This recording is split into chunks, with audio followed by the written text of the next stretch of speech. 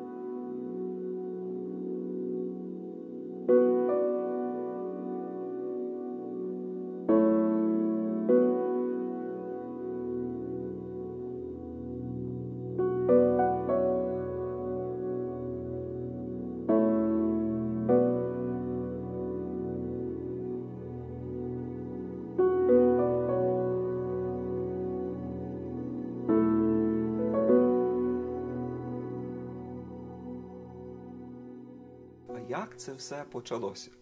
Дійсно, ми можемо е, вже в перспективі того часу столітнього побачити силу духа і велич тих людей, тих, тих, е, тих піонерів, тих першопрохідців, які направду принесли світло Христового Євангелія е, в ті наші громади, які так тоді його потребували.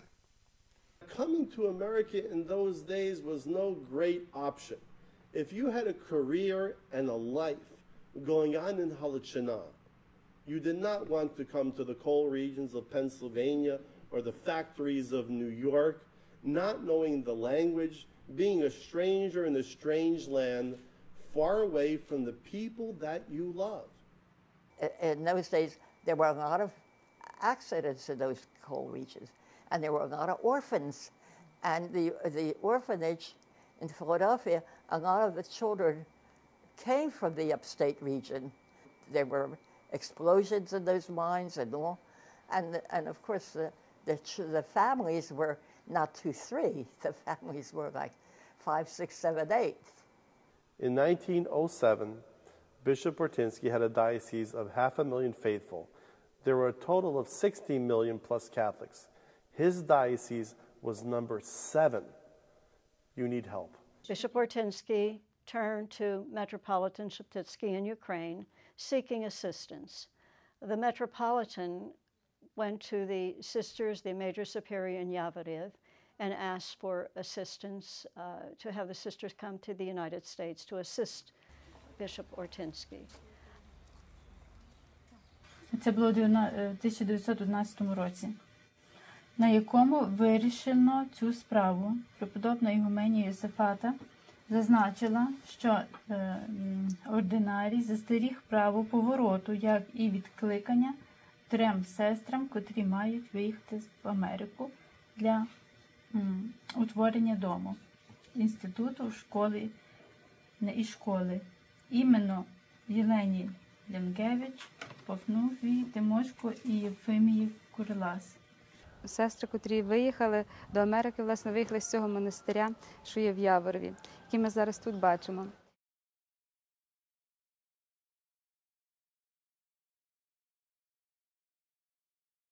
Якщо, скажімо так, поглянути на те, як відбувалася оця місійна діяльність е, нашої церкви, наших священників, е, наших сестер, зокрема сестер Васильянок, ми побачимо, що е, тут одна або дві особи запалювали тисячі сердець. І очевидно, що вони повинні були бу- горіти тим Духом Святим, мати ту свою церкву у своєму серці, щоб можна було її привести тоді на інший континент е, земної кулі. From the beginning, from, from Basil's time, we have always been attentive to the needs of the time and to serve, no matter what it might be. There's a difference between you deciding what to do and you saying, This is where God is calling me to do. This is what God is asking me to do. It's not comfortable, it may be difficult, uh, but the fact that you see the will of God here to make people's lives better, you go where you are sent. And so I think the sisters looked upon this as a spiritual call from God through the bishop to serve people who needed them. These young women came and daily responded to the will of God. And in that way, we see the results of that today. We are sitting on land and in buildings, behind which and under which lie the many sacrifices, but more important, the many acts of dedicated love for us. This is the reason they came.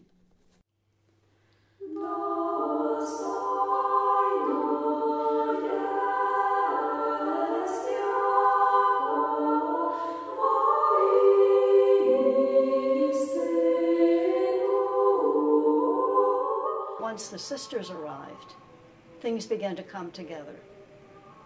They opened a school within one week. The children came, they were being prepared for First Communion.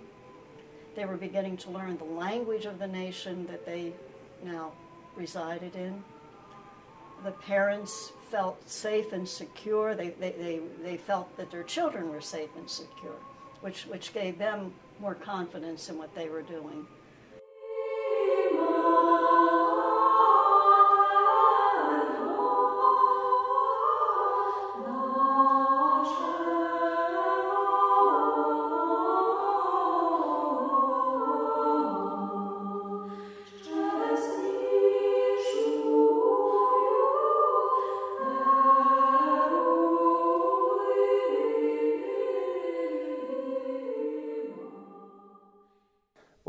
With Greek Catholic or Ukrainian Catholic orphans?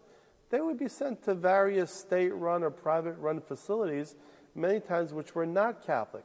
And these children would be lost to the faith, and they would also be lost to the community.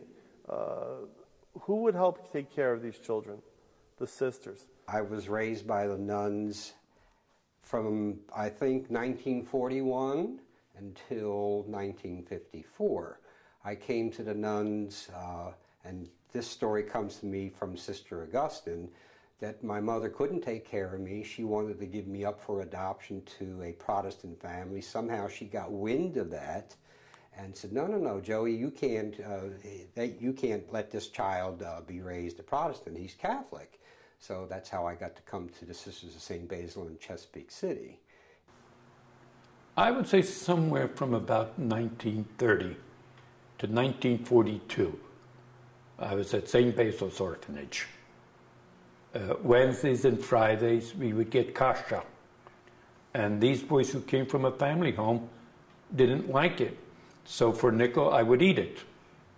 Red beet soup, they didn't like it. I would get 10 cents to eat it for them. In order to finance their ministry, they opened up a carpet weaving shop, a printing shop, and they made vestments. I do recall the printing house. They had a beautiful printing house. They did uh, calendars and books and missionar. They did all the printing. And I remember Sister Modesta uh, and Sister Constance. За тих всіх сестер я скажу, вони були, не були великі теологи, але вони були такі дуже духові, молились і дбали, за, і, і то все було наше, і вони молились, дбали. І були такі духові люди, духові жінки, тяжко робочі. During my tenure there, I can recall one of the greatest moments of my life in having met Sister Meletia, one of the most holy, pious, spiritually enabled, blessed by God nun that I've ever served in that convent at that time. I remember her kindness, her gentleness, and I would say that if there were anybody to be emulated at this time, at this 100th anniversary, it would be Sister Meletia. So we had a sister that used to walk around in the basement, you know, and she didn't go to bed so early. And uh, so she came to us and she said, you know, there's on the corner, you know where the road goes to the house and this way, on that corner. And the, the field was a cornfield. So they took the cobs and made a cross and they put it on fire and they put their masks on and they screamed, you know, yelling. But we didn't put any lights on or anything. We didn't tell Mother Joseph Josephine. We didn't want to scare her. The KKK had burnt a cross on their front lawn in Fox Chase not wanting these Catholic nuns to come into their territory. But she said, Well, we looked at the cross and we went to bed and got up the next day and continued our work.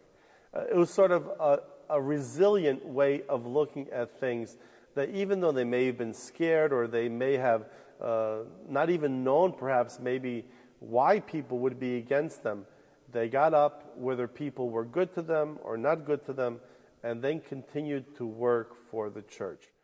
The Sisters of St. Basil the Great were essentially, from my perspective, the, the social uh, hub of the Ukrainian community. Ukrainian community has always built itself out from the center, and at the center was the church. The first things we built when we go somewhere is a church. The second thing we built is a bar. It's usually located right next to the church. The sisters were able to offer a third pillar uh, that was everything from schools to festivals to to workshops, to, uh, to activities that, uh, that united us, that kept us together. They were women run by women at a time when most of the women in society depended on their husbands. And here you had women who were independent. You know, there was no man that could tell them what to do. Even the bishop, which is the highest ranking person in the Catholic Church, had to ask them. Mother Marie called me in one day. So it was Mother Josephine and Mother Marie and myself. And I had no idea why I was being called. And Mother Marie said, We're going to open a college. I said, What? She said, Yes, we're going to open it. I said, What kind of a school is it going to be? And she said, Well, you better think about it. I was in Pittsburgh teaching the eighth grade. I was a principal in Pittsburgh at the time. I was frightened. But I said to the Holy Spirit, I said, if I'm told to do something and I feel responsible to obeying, you better do the work. I told him that. At the academy at the time, we had Christine Dochwat, the one who uh, decorated the entire cathedral here in Philadelphia. She's, she knew art from the time she was born. So she made our seal, and it's there to this day, the seal of Manor College. You had St. Basil's Pillar of Fire, then you had St. Macrina's Acorn of Courage. The education at St. Basil Academy was great influence on my life uh, because of the, um, I would say, of, of discipline, which was very important, of example of the sisters, and of perseverance, of um, everything that a young woman should know. It became my path in my life to follow.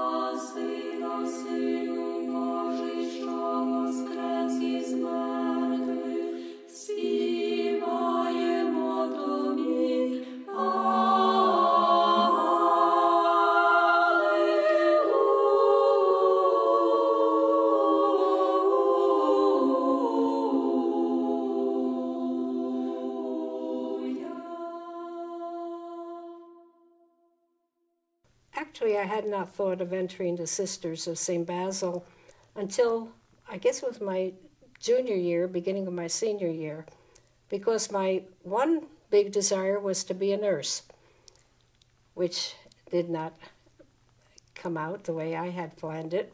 But again, God has His ways. I love to teach. I just, I think that's who I am. And when I get into a classroom, all my desire to, I wanted to be a Broadway singer and dancer, but that didn't come to fruition. So I, I enjoy teaching for that reason. I just love to teach. Even as a little girl, I enjoyed prayer life. And what struck me about our sisters was not only the encounter that I had with them in school, but also that I would attend liturgy on Saturdays. And what struck me was their spiritual life, their prayerful life. And when I would look at them in church, it almost seemed as if they were just so united with God. And that peace and that serenity affected me very much. I had initially wanted to be a nurse, and I had my application for Henry Ford Hospital Nursing School. But it was on a Holy Saturday that I went to church and uh, for the blessing of the baskets and went to the tomb. And there I saw one of our sisters, Sister Salome, actually, who was preparing the altar for Easter. And as I sat there, I sincerely prayed to the Lord, asking the Lord that He inspire me as to what His will for me might be.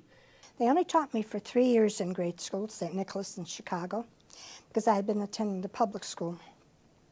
But I was very impressed that the sisters were there for the students before school started. They were there during recess time for them. They were there after school. I didn't find that in the schools that I, I had attended before. So, and then I was very impressed with their dedication to the young, to the people in general and so impressed that that's what I wanted to do with my life, and I have. At Manor College, I, the, the greatest impact was um, the spiritual aspect of really seeing the beauty of worship uh, in our tradition. I really came to love uh, my own a Byzantine rite. Um, we had many things that we did. Uh, not only liturgy, but the rituals of, in various areas of processions and uh, special prayers to Our Lady. I went to Immaculate Conception Ukrainian School and high school. So I went there from kindergarten to 12th. Then I taught there as a layperson for seven years. Then I entered the community, and then I went back to teach as a sister of St. Basil there for another three and a half, four years. So I have a long history with the school there. Well, when I entered, uh, uh, my parents came in three months and asked me if we want to go home because the people were saying such stories that the that the sisters sleep in a in a tomb and all that, you know. And they came and they said, "Listen, we want uh, you want to come home? We're taking you," and we said no. when I entered the convent, I was told I was going to go on in my studies.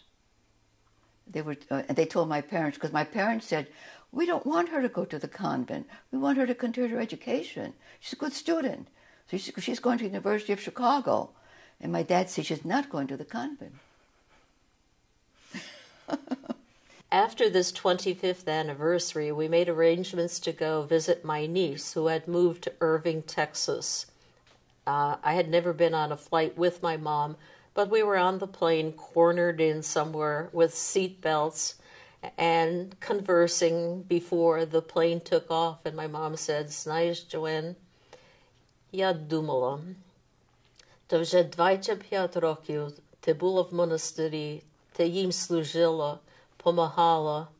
Тепер вже час, щоб ти прийшла додому і зі мною бути was like, oh my God, where was this coming from? And I cannot get out of this seat.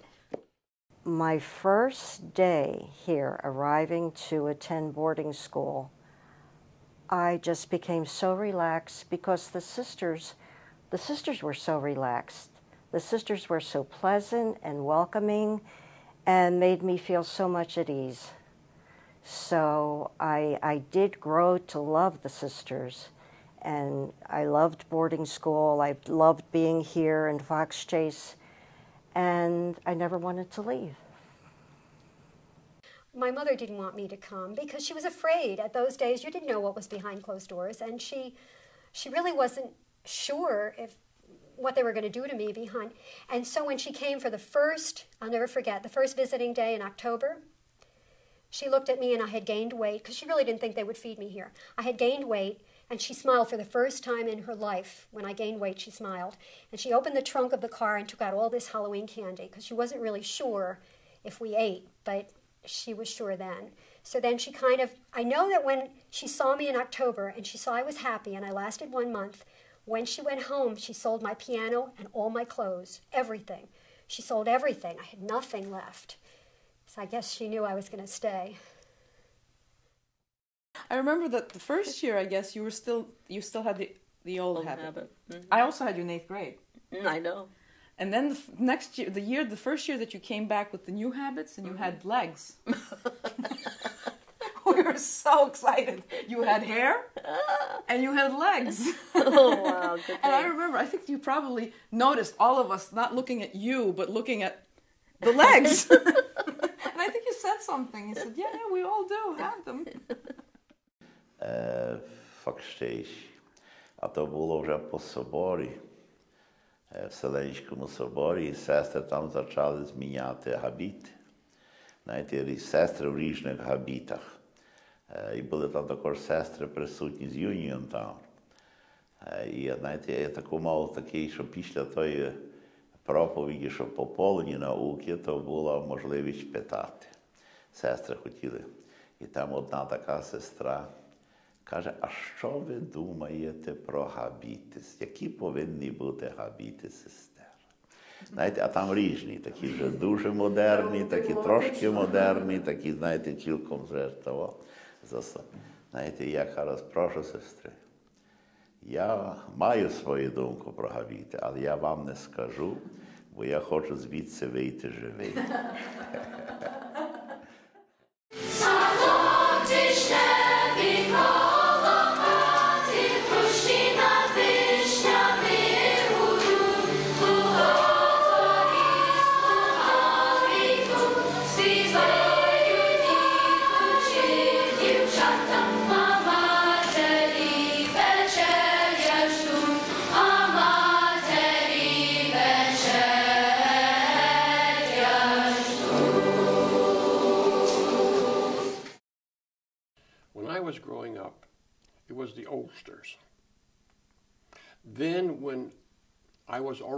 Um, going to high school, in came a new influx of immigrants.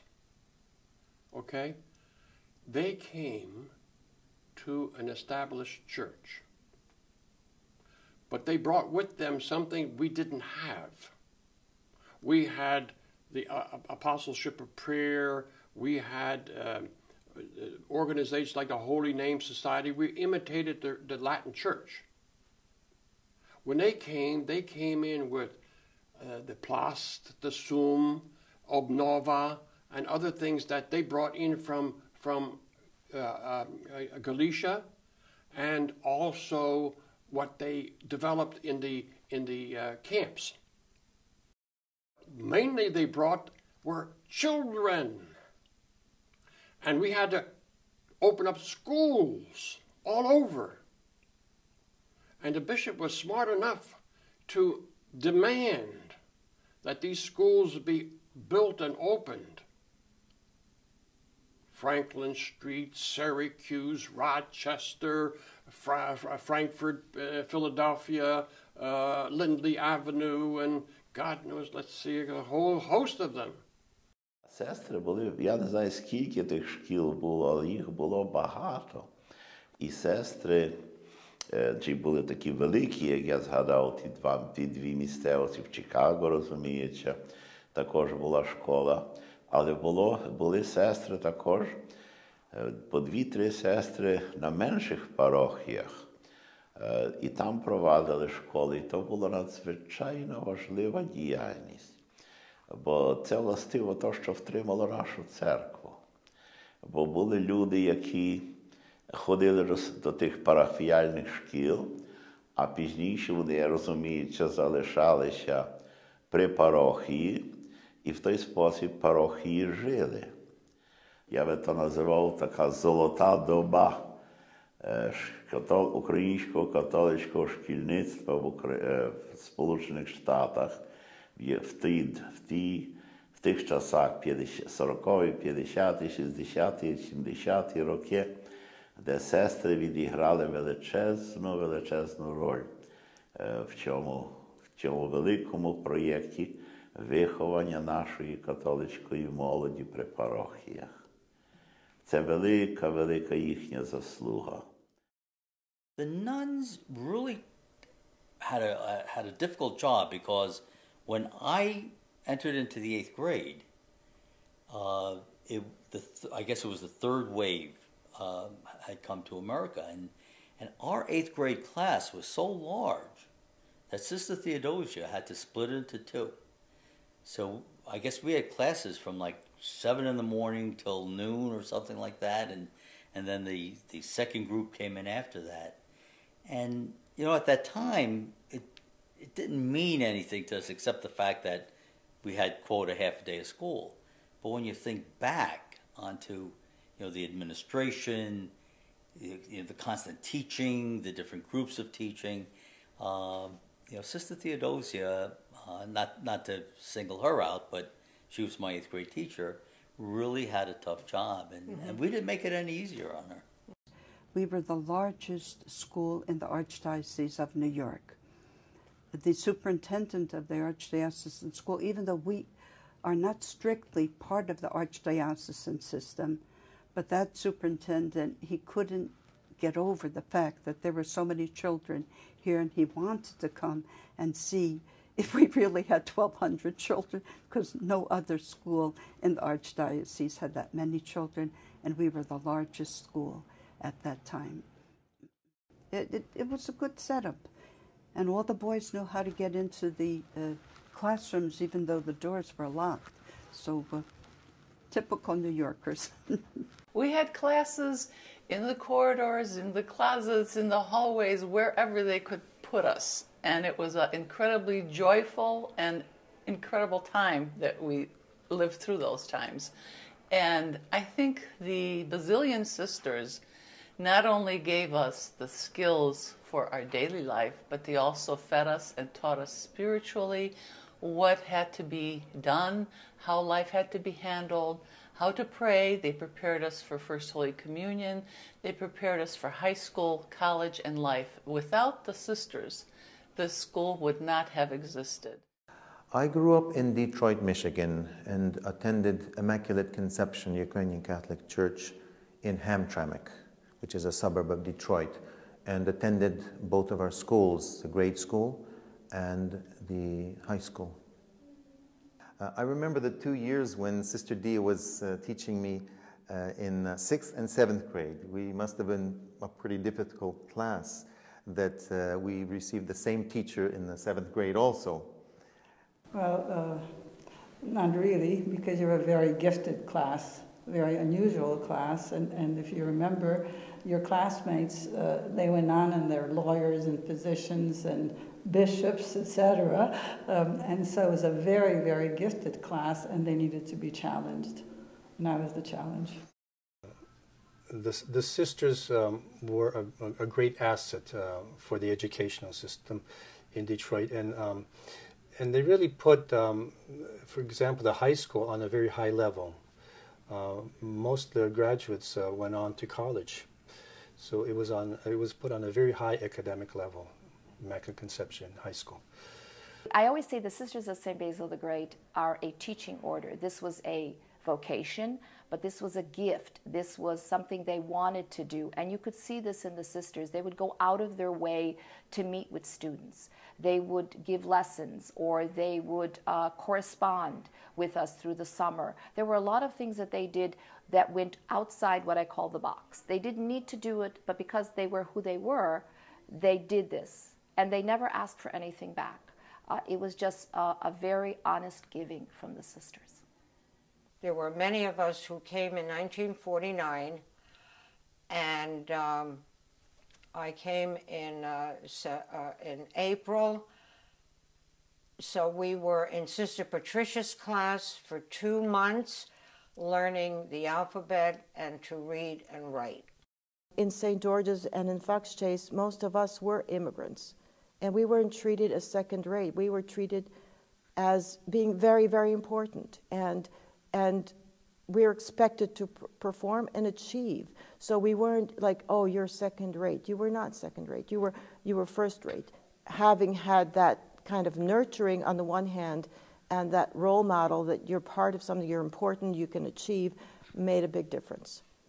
The nuns were always polite, uh, always good, always smiling, always intelligent, always well mannered, and that is something that you know every young girl looks up to and wants to be like that. Poised, knew everything, knew how to answer every question, knew how to deal with every situation. Not like we were awkward, you, know, we didn't know it was either oops or oh heavens, what did we do? Oh, yes, definitely. I remember, you know, the dedication uh, of the sisters. They really lived uh, um, a life of total giving, in great poverty, I would say, compared to you know what what we know as uh, luxury today.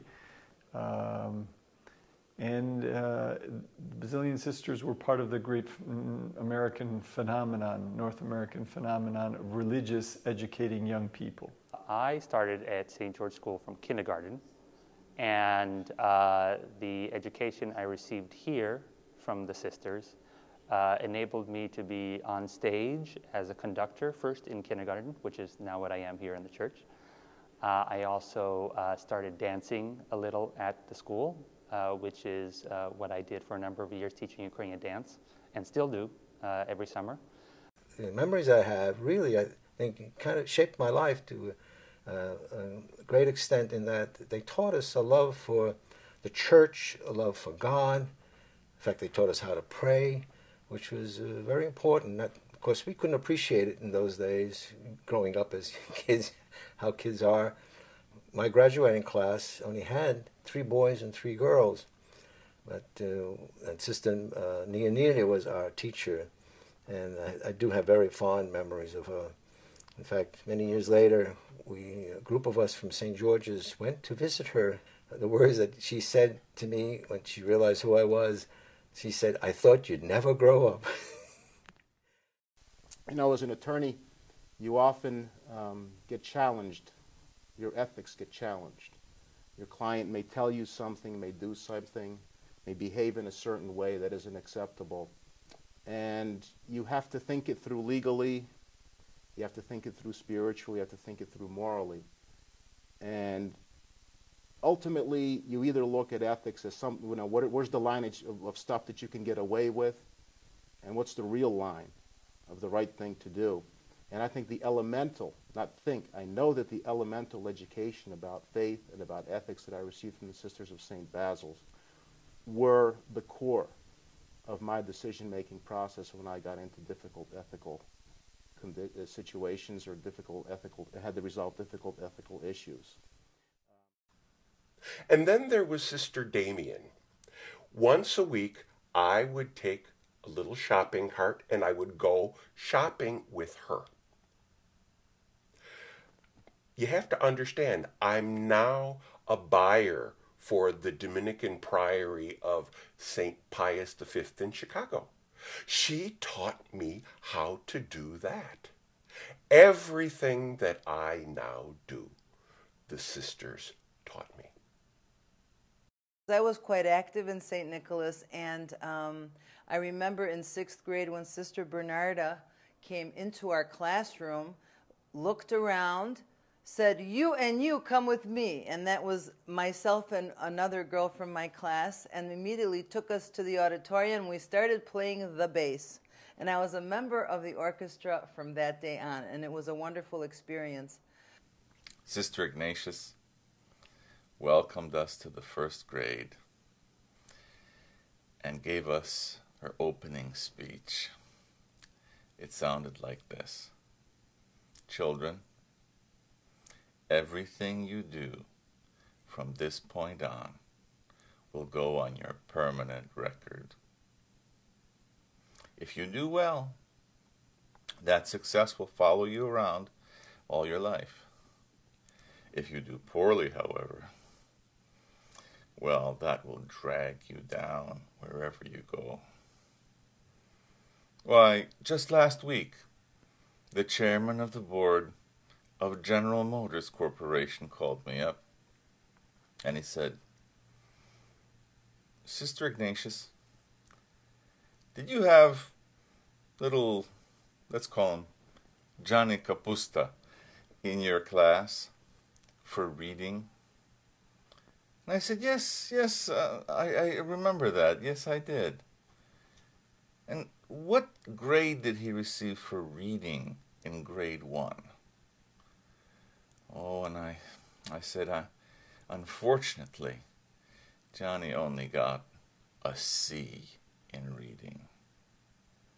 I remember particularly my first day in first grade when my father, who was a professor, uh, understood how important it was for teachers, especially sisters, to have students that are cooperative.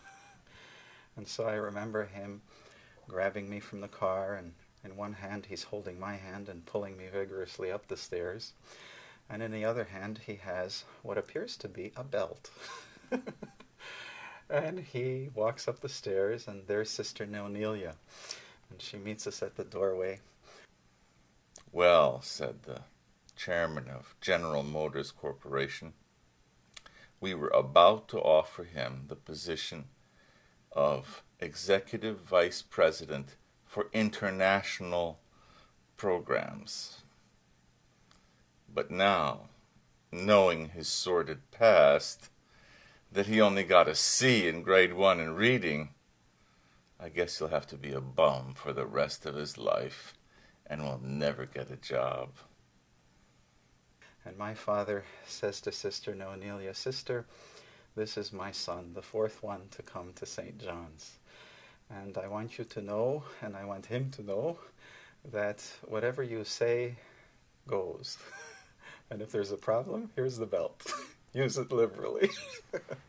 so you see, children, everything you do from now on goes on your permanent record. and it was my first impression that coming to the school was not a chance to wiggle out, but it was simply going to continue. Uh, to be disciplined, to be taught, to be kept in line.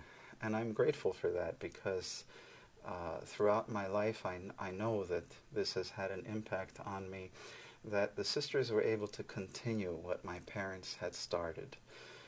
So, Sister Ignatius kept us in good order and set us on our way to lead successful, positive, constructive lives because otherwise anything we did would follow us around for the rest of our days. We always thought the sisters had eyes in the back of their head and they always knew what's going on. They had the plan. They knew your plan for that day because they was they were always there before you got to wherever you were going to to cause trouble. They were always there for some reason. So we felt it was a conspiracy. Don't trouble trouble until trouble troubles you. so just be very quiet now. I, I want peace and quiet now. And that was it, you know, and the class would have to be quiet, and, and we would be pretty much most of the time. So I've learned to know the sisters a little bit differently professionally. Um, learned to respect them for all that they've given up for their mission and for the belief that leaving the world a better place than you found it, the philosophies of the school, the philosophies of St. Basil the Great, they absolutely permeate throughout this building, and not just with the students, but with the employees as well. I was a very young, brand new teacher in the classroom when I started here. My experience with Eleanor has uh, really been wonderful. Anytime I've asked her uh, to help out in anything, she was always there. Uh, it's, it's a wonderful feeling for an administrator when you have people that are willing to go the extra mile. But Sister Carla has let me grow in many ways as a teacher. And I feel the same way because when I started, I was a very young teacher also, and Sister taught me and as I said, that was that was very challenging for me to come back as a as a teacher after being a student, a graduate. You know, in high school is a challenging time, and I can see that now being a teacher of high school girls and thinking about when I was a high school student and how hard it is. You're trying to find your place in the world, and um, the sisters that I did have, and Sister Rita for religion, and Sister Suzanne, and Sister Carla for Spanish uh, seeing them teach in their different subject areas, their presence always brought forth, you know, God's word to me. And I was drawn to that from the very beginning. When you're a teacher today, it's not just imparting knowledge. Uh, you have to be um, a friend and a, a guidance counselor and um, a mother and so on, and you really have to embrace the total um, person.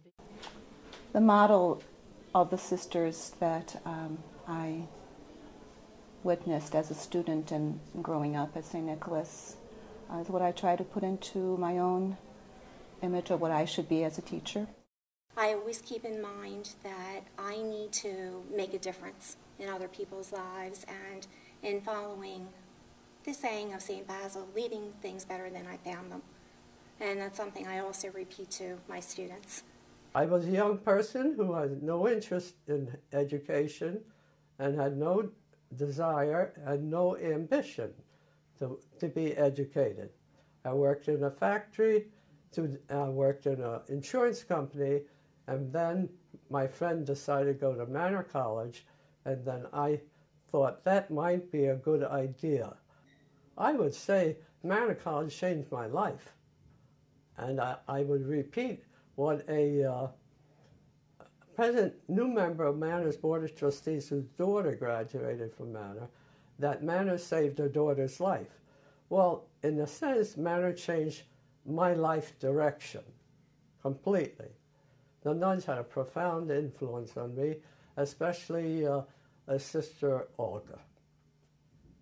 At uh, UKU, at the Ukrainian Catholic University, uh, where Patriarch Joseph was living uh, from about 1980 to his death in 84. In the afternoon, he would come out to get a little sun and a little fresh air. And Sister Daria and I would uh, always um, come, come out there uh, and just be with him. And it was always interesting how he teased Sister Daria. Uh, um, Sister Daria had a very kind of friendly, uh, humanly light relationship uh, with Patriarch Joseph. Uh, Mother's Day pilgrimages here, they were the best. They were the best. I mean, they still have them, but they have them in October.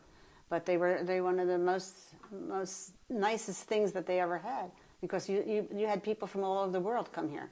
Everybody was here.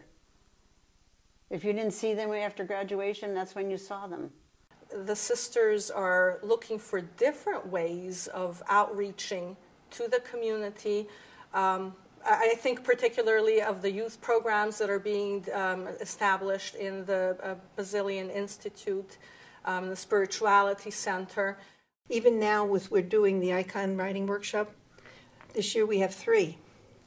We've had Roman Catholic, Ukrainian, Ruthenian, we've had non Catholic, and they all formed a community to feel a sense of church, real church. I graduated from Manor Junior College in 1980. It was there where I was first introduced to the Ukrainian liturgy, and it was also there where I first became interested in icons and their beauty and praying with icons. Uh, most recently, I wrote an icon, The Mother of Tenderness, which I presented to the Patriarch in Chicago this past September, and it was an awesome experience. My father was an orphan. I suffered very, very much and I thought of the, sister, of the children in Ukraine. And somehow I got permission from the superiors who agreed, and that's how I started.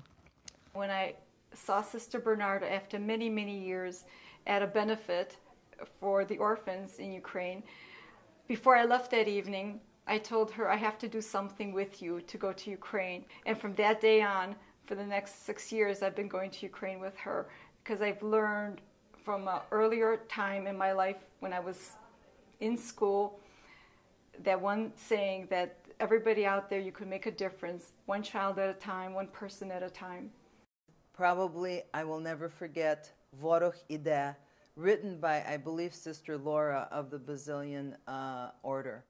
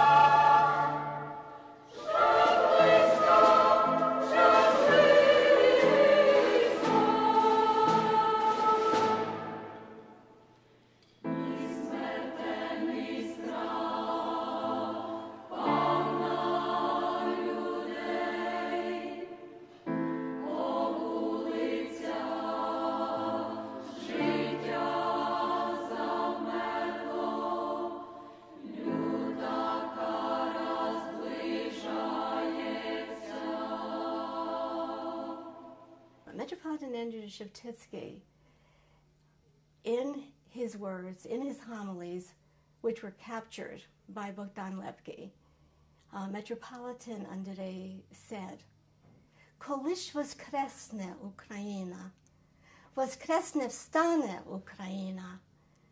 And we are witnesses to that today because Ukraine is resurrected.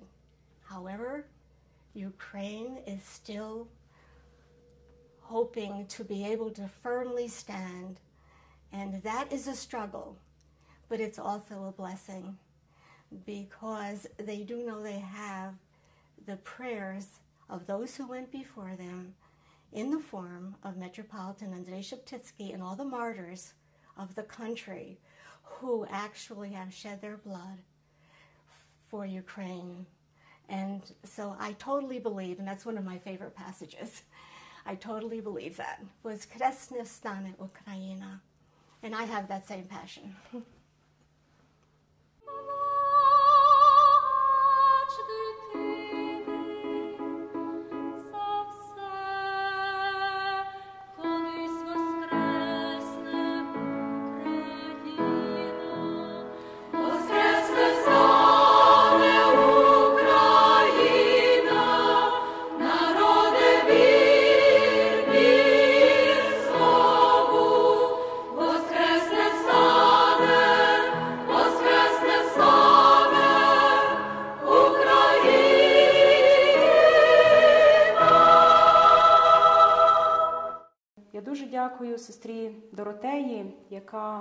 дуже багато спричинилася до нашого е, турне, музичного турне.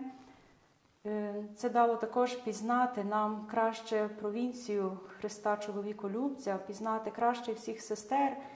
І я можу сказати, що це, ця провінція вона дуже близька нашому серцю, близька тим, що е, сестри, які пам'ятають цей свій вихід з Яворова, і це дуже цінять, це дуже підтримує також нас е, любити свій чин, любити свою історію.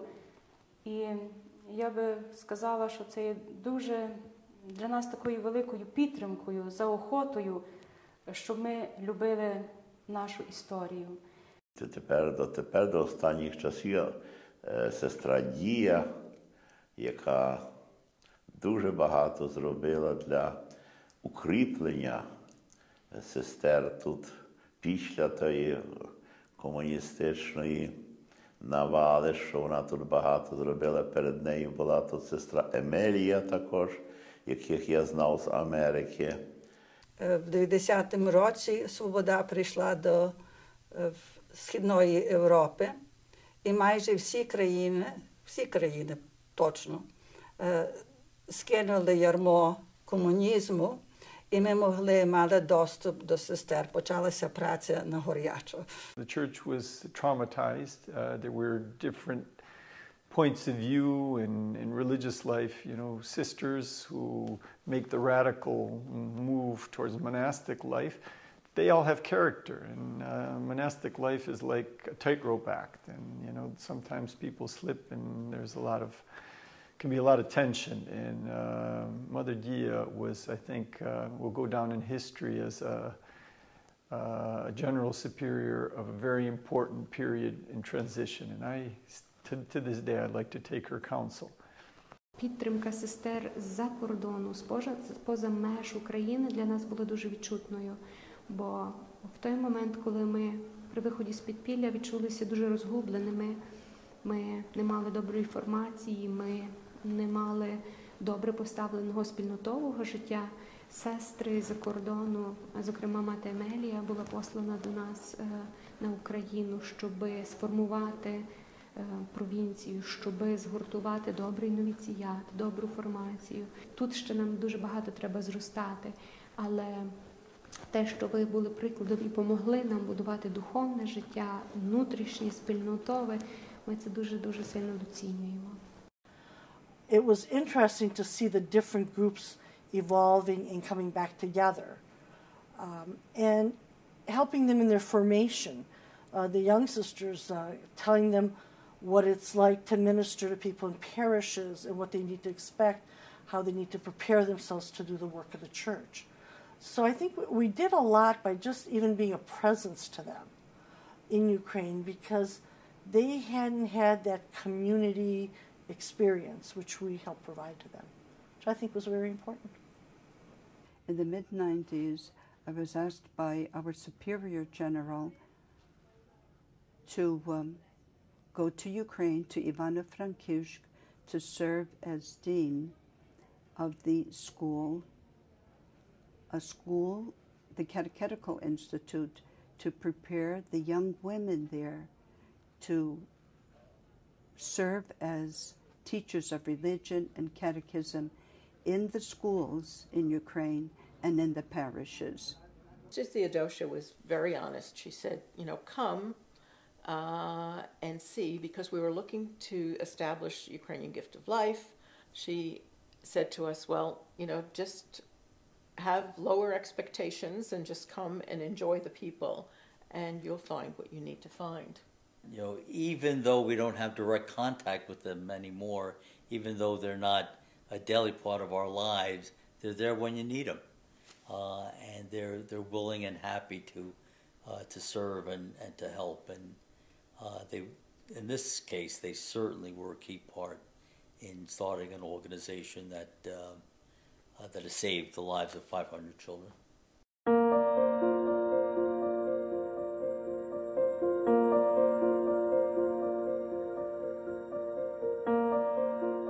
What I uh, value now, uh, particularly in what I see, you know, today's youth lacks, uh, is the kind of catechesis that uh, a different time gave, and the catechizers were the sisters.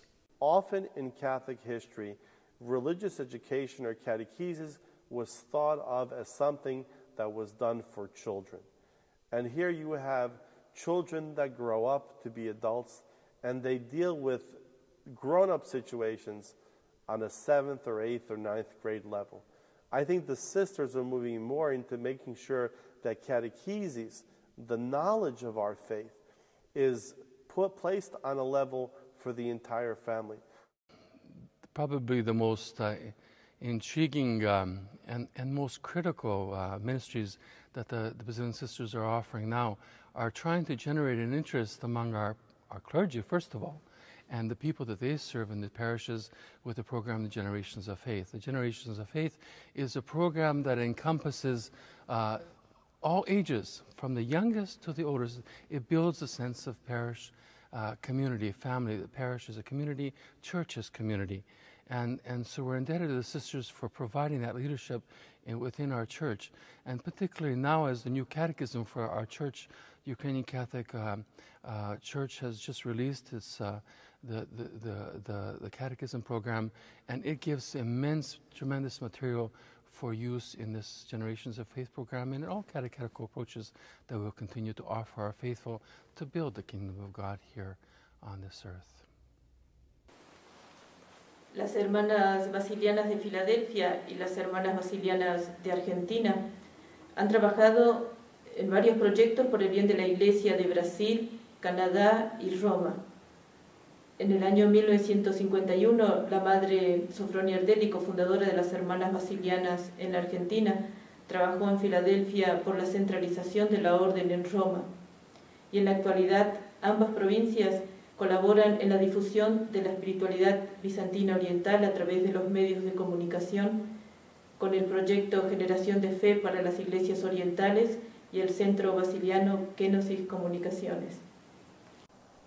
Нещодавно відвідуючи сестер в Америці, я була збудована такою вашою, дорогі сестри, молодечістю духа, тим, що ви ви продовжуєте з величезною наснагою, з величезною відданістю служити Христові там, де ви є. Це, що ви робите, то є неймовірно прекрасне. І це будує мене нині, сестру Васильянку в Україні. Я так з цілого серця бажала би усіма способами, якими би можна тільки було вам віддячитися за це. І я вірю, що всі сестри в Україні будуть намагатися зробити все, все, все, щоб вам бути дійсно добре, дуже вдячними. I hope uh, uh, to see in sisters those that are in the avant garde, that can be for us priests also kind of a source of support. Um, to fear, not to fear that the numbers are small. Jesus had only a few disciples. You know, they've done so much, so many vocations throughout the hundred years. You look back at the early history uh, and how the sisters came. Bishop Ortynsky invites them to come and invites them to respond to the tremendous amount of people's needs, basic needs, orphanages, children needing care, people needing education, catechism, to, to, to be comforted in, the, in their loneliness, distance from the home, uh, from their homeland. All the different ways they responded immediately to human needs the congregations came together, parishes came together to build the beautiful churches that we're gifted with. The sisters built the communities, the, the families, the individuals, they, they built the spirit within all those communities. And they, there were many vocations. They responded to serve. They, they, they, they looked at the sisters, they wanted to model after them. They wanted to continue to serve the people. And it's been a tremendous gift in these hundred years. The many young women who have joined the Order of St. Basil the Great, the sisters, and, and offered whatever gifts and talents that God uniquely gives to each of them to be able to provide for, for His holy church.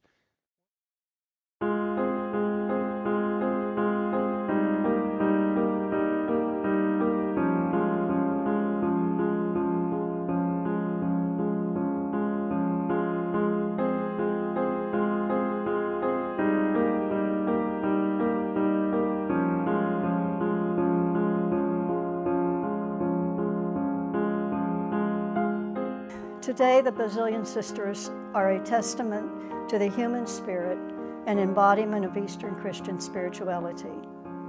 Carrying on and building upon the legacy of their predecessors, they continue to be guided and inspired by the love of community, heritage, learning, prayer, and service.